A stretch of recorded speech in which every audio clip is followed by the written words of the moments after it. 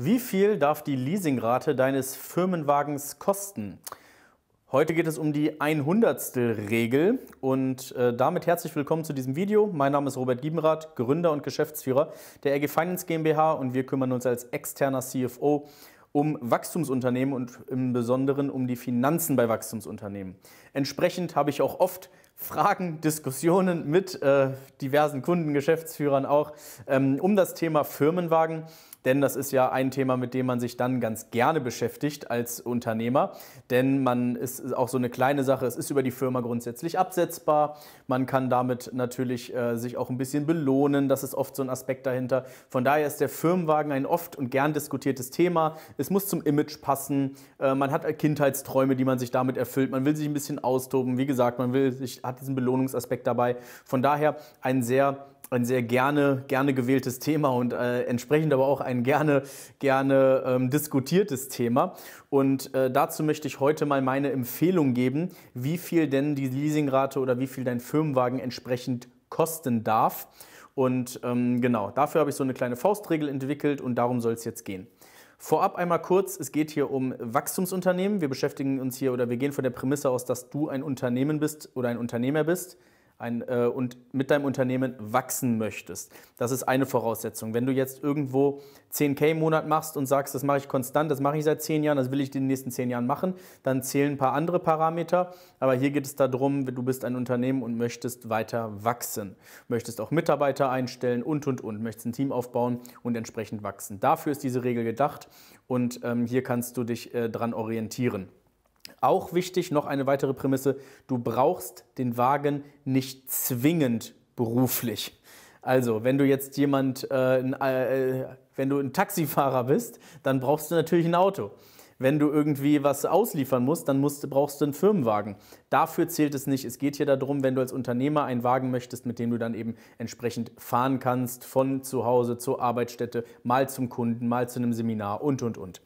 Genau, mit diesen beiden Prämissen vorab möchte ich dich jetzt einmal hier mitnehmen, weil wenn du im digitalen, wenn du im Online-Geschäft tätig bist, online irgendwie Agenturdienstleistungen machst, Berater, Coach und so weiter oder E-Commerce-Unternehmer, äh, Software, Softwareunternehmer, Plattformen und so weiter, brauchst du diesen Firmenwagen ja nicht zwingend. Ne? Könnte man auch die Öffis nehmen, könnte man sich auch mal was leihen und und und. Ne? Genau, das vorab geschaltet kommt jetzt meine Regel, mein Hinweis zu dieser Firmenwagen-Thematik. Was darf der Firmenwagen kosten? Und hier habe ich die 100 Regel, die besagt, dass der Firmenwagen ein Hundertstel von deinem Netto-Monatsumsatz kosten darf.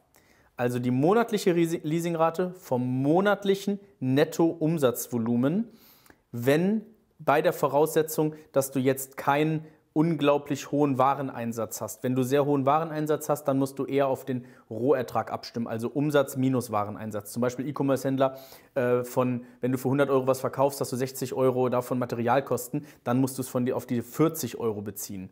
Wenn du Dienstleister bist und so weiter, solltest du in der Regel ja direkte Marge haben, dann kannst du es entsprechend so, so äh, schon in Relation haben. Also wenn du 100k machst, dann in diesem Beispiel, wenn du 100k im Monat verdienst, an Umsatz, also Nettoumsatz hast, dann darf die Leasingrate entsprechend 1000 Euro betragen für deinen Firmenwagen.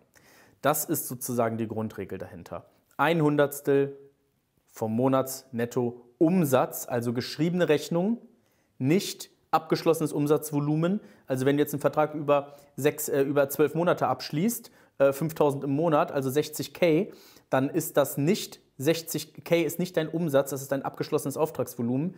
Dein Umsatz ist 5k, weil du eine Rechnung über 5000 Euro schreibst. Und das musst du rechnen. Das, was in deiner BWA steht, auf der Monatsbasis, das ist die, das ist die Marke für, also durch 100, das darf netto dein Firmenwagen im Monat kosten.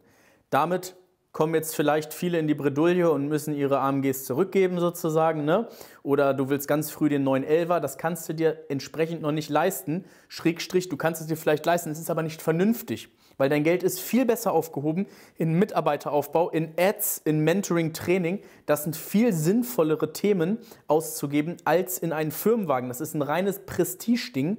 Du kommst auch mit einem Ford K von A nach B oder einem Polo, so, ne, wenn es darum geht. Aber es ist natürlich, es ist fürs Mindset auch eine gute Sache. Es kann eine Belohnung sein, aber belohn dich nicht zu früh mit solchen Firmenwagen.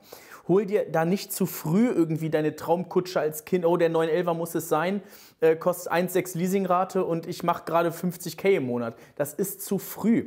Die 1,6 Leasingrate kannst du dir holen, wenn du 1600 Euro mal konstant machst. Mal drei Monate hintereinander mindestens 160.000 Euro Umsatz, geschriebene Rechnung gemacht.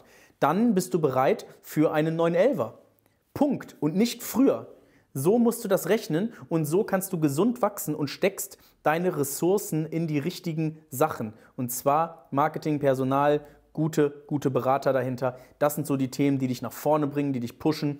Und ähm, alles andere solltest du angemessen, angemessen äh, nehmen und angemessen einsetzen. Und sowas ist, diese 100. Regel ist eine angemessene Regel für Unternehmer.